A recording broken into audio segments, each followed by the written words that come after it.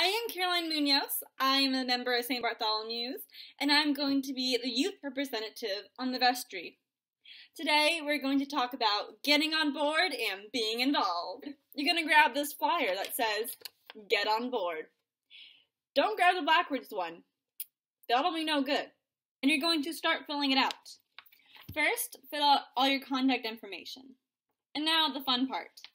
You're going to fill out where you're interested. What do you want to be involved with? You're going to check mark the ones that you're interested in. And if you're already involved in, great! You can fill out the I'm already involved with box. This flyer has thought of everything.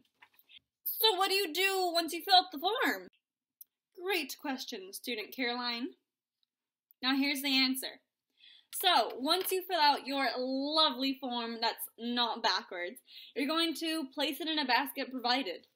Then you will get a reach out form from your co chair of the ministry, who will tell you the date and time of the next meeting and will inform you more about the ministry that you want to be more involved with.